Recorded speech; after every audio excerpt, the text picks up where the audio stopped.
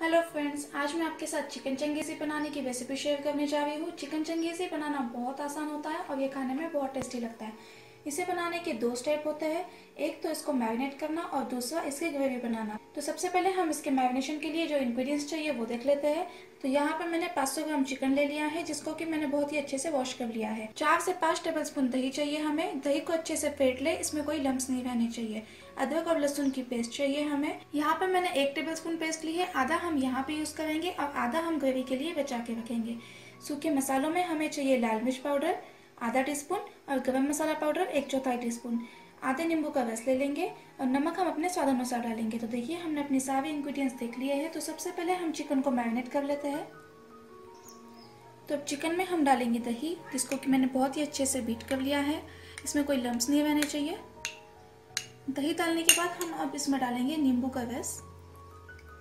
लाल मिर्च पाउडर और गर्म मसाला पाउडर डाल देंगे यहीं पे। लाल मिर्च पाउडर और गर्म मसाला पाउडर हम ग्रेवी में भी यूज़ करने वाले हैं, लेकिन हम यहाँ पे चिकन में भी डाल रहे हैं, जिसके वजह से कि चिकन खाने में बहुत टेस्टी लगता है। अदरक और लहसुन की पेस्ट डाल देंगे। लेकिन यहाँ पे हमें आधी अदरक लहसुन की पेस्ट डाल देनी है और आधी हम ग्रेवी के लिए यूज़ करेंगे। साथ ही हम डालेंगे नमक।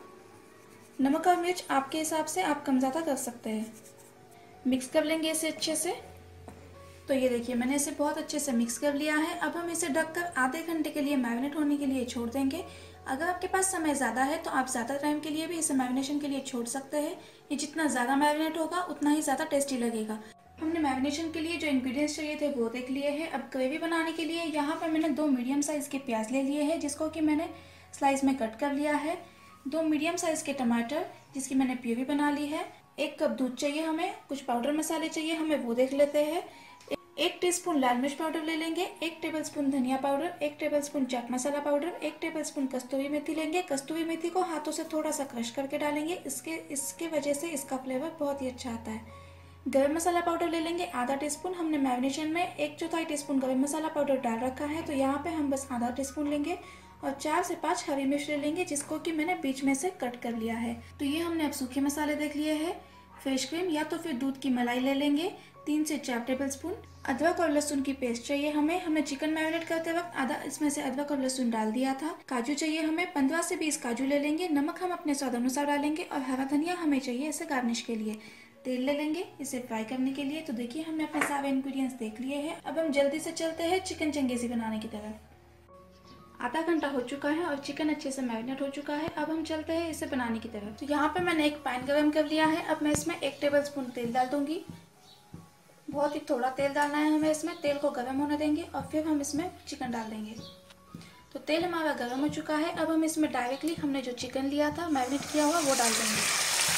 अब गैस की फ्लेम हमें हाई रखनी है और हाई फ्लेम पे हमें इसे चलाते हुए तब तक के फ्राई कर लेना है। जब तक कि हमारा जो दही का पानी निकला हुआ है, वो कम्प्लीटली ड्राई नहीं हो जाता। देखिए, मैंने इसमें एक्स्ट्रा पानी नहीं डाला है, इसका अपना ही जो पानी निकलेगा, वो हमें कम्प्लीटली ड्राई कर लेना है। तो इसको चलाते रहेंगे बीच बीच में और गैस की फ्लेम मीडियम टू हाई रखेंगे और इसको अच्छे से फ्राई कर लेंगे। अब जब तक कि हमारा चिकन हो रहा है, तब तक कि हम ग्रेवी बना लेते हैं तो यहाँ पे मैंने एक पैन ले लिया है और उसमें मैंने दो टेबल स्पून तेल डाल दिया है। तेल गर्म हो चुका है हमारा। अब मैं इसमें प्याज डाल दूँगी, जो हमने काट के रखी थी। साथ ही हम इसमें डालेंगे काजू। काजू हमें यहीं पे डाल देने हैं ताकि काजू भी इसमें अच्छे से फ्राई हो जाए। अब इसे हमें चलाते हुए तब तक के फ्राई करना है जब तक कि हमारे प्याज और काजू कलर चेंज नहीं कर लेते, हल्के से गोल्डन नहीं हो जाते। तो ये देखिए, यहाँ पे प्याज और काजू का कलर अच्छे से चेंज हो चुका है, गैस की फ्लेम बंद कर देंगे और इसे सेम प्लेट में निकाल लेंगे। तो निकाल लेंगे इसे। और इसे अब हमें ठंडा कर कर एक मिक्सी में चला लेना है और इसकी बारीक फाइन पेस्ट बना लेनी है। प्याज और काजू की हमने फाइन पेस्ट बना ली है। अब सेम पैन में हमने तेल डाल दिया है और तेल को अच्छे से गर्म कर लिया है। अब हम इसमें डालेंगे अदरक और लहसुन की पेस्ट और इसको हमें चलाते हुए तब तक के फ्राई कर लेना है। एक से दो मिनट इसे फ्राई कर लेंगे ताकि हमारा जो अदरक लहसुन का कच्चापन निकल जाए।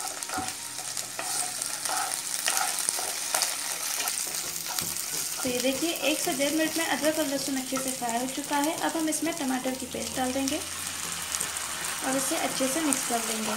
अब साथ ही हम इसमें डालेंगे पाउडर मसाले। तो यहाँ पे हमने जो पाउडर मसाले लिए थे, हरी मिर्च और कस्तूरी मेथी को छोड़ के हमें बाकी सारे मसाले इसमें डाल देने हैं। मिक्स कर लेंगे इसे अच्छे से। और अब हमें इसे चलाते हुए दो से तीन मिनट तक के अच्छे से फ्राई कर लेना है या तब तक फ्राई करना है, जब तक के टमाटर जब तक के टमाटर अच्छे से सॉफ्ट होकर पक नहीं जाता और ये तेल ना छोड़ने लगे। और इधर हमारा चिकन कम्प्लीटली ड्राई हो चुका है। देखिए, आप देख सकते हैं कि चिकन ने सारा जो पानी रिलीज़ कर लिया था, वो अच्छे से ड्राई हो गया है। अब गैस की फ्लेम बंद कर देते हैं।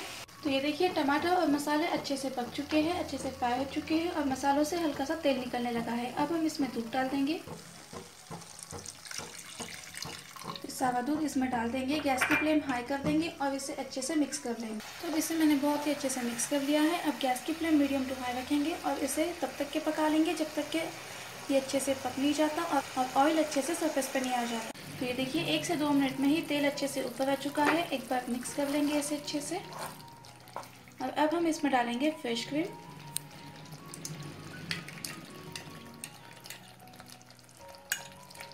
साथ ही हम इसमें डालेंगे प्याज और काजू का पेस्ट।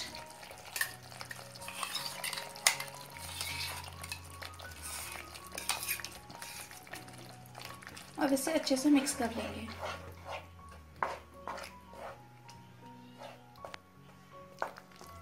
तो ये देखिए, इसे मैंने बहुत ही अच्छे से मिक्स कर लिया है। अब गैस की फ्लेम हाई कर देंगे और हाई फ्लेम पे हमें इसे तीन से चार मिनट तक के लगातार चलाते रहना है। तीन से चार मिनट मसालों को अच्छे से फ्राई करने के बाद अब हम इसमें चिकन ट्रांसफ़र कर देंगे। और इसे अच्छे से मिक्स कर देंगे। ये देखिए, मैंने इसे बहुत ही अच्छे से मिक्स कर लिया है। अब हमें अब हमें इसे मीडियम फ्लेम पे दो से तीन मिनट तक के फ्राई करना है, ताकि हमारा चिकन भी इन मसालों के साथ अच्छे से फ्राई हो जाए। चिकन को मसालों के साथ अच्छे से फ्राई करने के बाद अब हम इसमें डालेंगे कस्तूरी मेथी, लेकिन कस्तूरी मेथी डालते वक्त एक बात का खास ध्यान रखेंगे कि इसको हाथों से थोड़ा सा मसल कर डालेंगे, जिसकी वजह से इसका फ्लेवर बहुत ही अच्छा आता है। ये सारी कस्तूरी मेथी डाल देंगे यहाँ पे, और इससे अच्छा सा मिक्स कर देंगे। साथ ही हम इसमें पानी ऐड कर देंगे।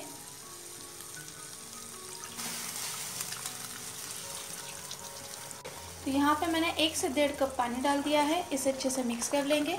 पानी डालने के बाद अब हम इसमें सॉल्ट ऐड कर देंगे। नमक आप आपके टेस्ट के अकॉर्डिंग डाल सकते हैं। हमने चिकन में पहले ही नमक डाल रखा था तो आप यहाँ पे केयरफुली ऐड करें और इसे अच्छे से मिक्स कर लेंगे।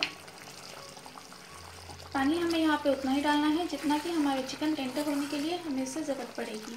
पानी डालने के बाद अब इसे एक उबाल आ चुका है। अब हम इसे एक लीड से ढक देंगे। और मीडियम फ्लेम पे हमें इसे 10 से 15 मिनट तक के अच्छे से पका लेना है या तब तक के पकाना है जब तक के जो चिकन है अच्छे से टेंडर नहीं हो जाता।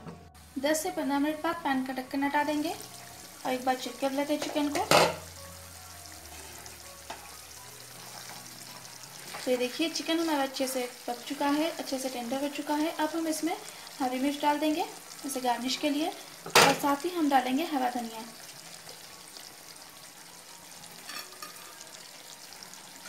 और इसे एक बार अच्छे से मिक्स कर लेंगे।